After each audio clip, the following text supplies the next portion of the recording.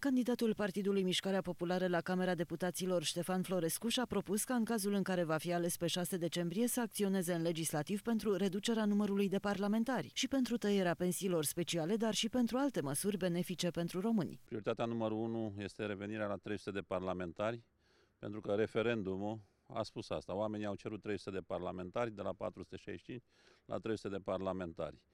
Uh, pensiile speciale sunt furt, este clar. Vom uh, tăia pensiile speciale și vom vrea o administrație publică locală strict uh, pentru oameni.